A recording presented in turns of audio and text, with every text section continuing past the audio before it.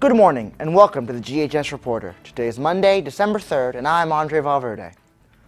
41st President of the United States, George Herbert Walker Bush, passed away on Friday. According to NBC News, a college athlete, war hero, and two term vice president before being elected president in 1988, President Bush also steered the U.S. into the Persian Gulf when Iraq invaded Kuwait in 1990.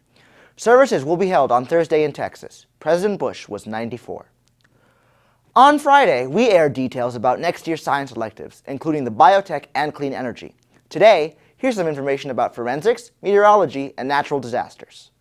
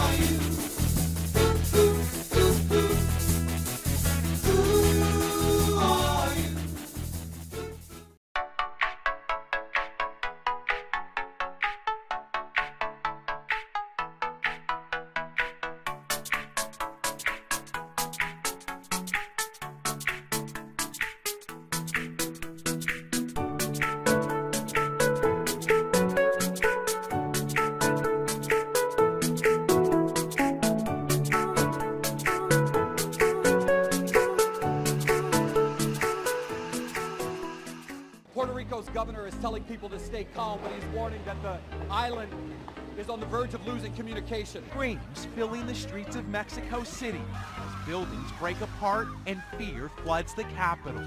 Fires in Anaheim have lit up skies over Walt Disneyland. Hurricane-force winds pushed the flames so fast, firefighters couldn't keep up. A tsunami 23 feet high, sweeping away everything in its path, and massive debris fields surging across villages hit by a wall of water.